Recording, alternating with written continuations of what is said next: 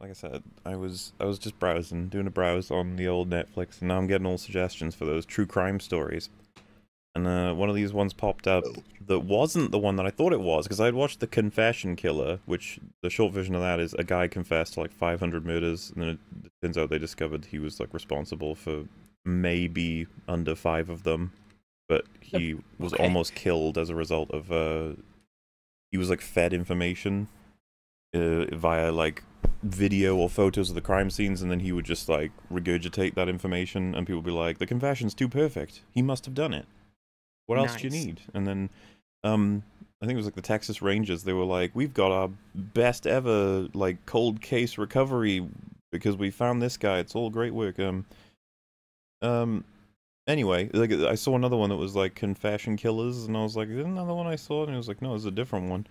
And so the story goes, and I'm gonna paraphrase it real bad because I was also playing a video game, but I was really sad after I finished it. So, scenario: you got a house, you got a family, and they all get murdered horribly, and then they're like, "Who did it? The we house don't know." too. Damn.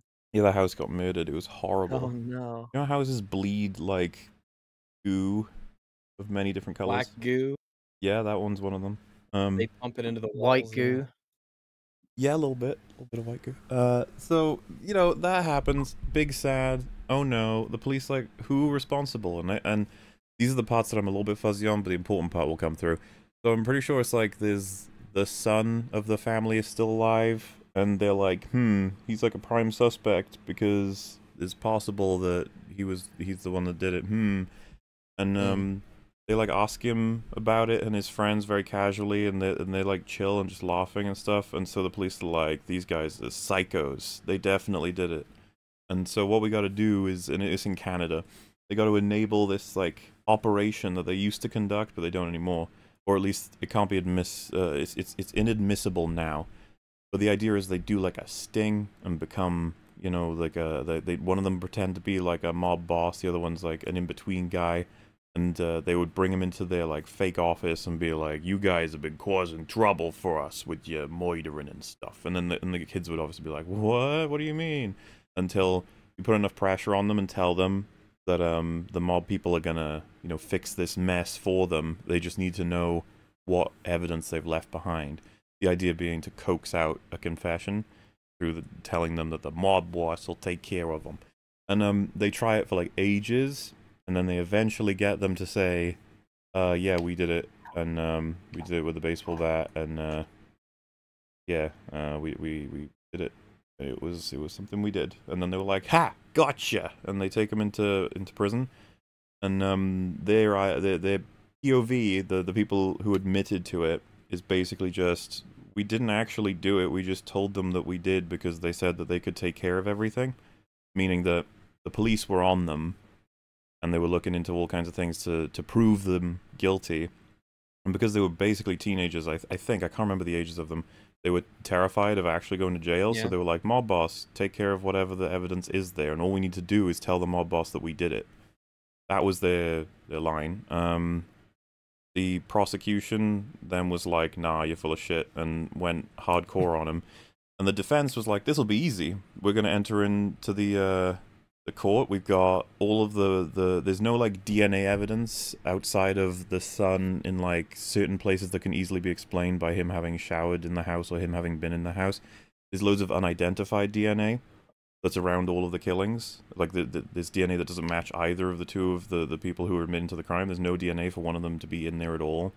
There's um, loads of things that are unexplained. Their stories, despite matching up, because they obviously planned it to, to try and give it to the mob boss, doesn't explain all the things they found in the crime scene. All of this stuff isn't uh, admitted. It's ignored. Uh, the judge prevented it from entering the case. So all they've got to give to the jury basically is to fight over the confessions, which is done with this. Uh, they called it like the big guy or something. It's like the operation they run when they're faking mafia. And like this case goes on for ages, and everyone who's involved is like, this will be easy for the defense because the confessions can easily be construed as just uh, they did it to save their own skin. Um, unfortunately, they ended up uh, being found guilty, and They served. Uh, they had three life sentences in a row. Uh, in a row without parole, and they're still serving it to this day. Have they not been acquitted or anything? They tried to appeal, and um, one of them has run out of appeals. The other one has got his last one coming up soon. So if the, if proof that you are innocent comes out, you've hit your limit on appeals. So I think yeah, I think you're that's just of just luck. fucked. Well, funnily enough, this What whole fuck? all the evidence that they got uh, convicted on is not admissible anymore. They changed the law in Canada. They think it's bullshit now. That if you get a confession from them by faking yourself as a mafia person, it doesn't count. But that was like all the information that uh, got them fucked over. Wow, Now that is depressing. It's yeah, I was I was really sad watching it because I expected it to end with someone to come out with like information of some kind to be like it's this you fools and it's like oh it all worked out. And it's like no they cut to them being like way older. I think they're like middle aged and they're just still Yeah. in prison. And i was just like what the fuck? Like mm-hmm. all all the dna evidence ignored. That's just how it works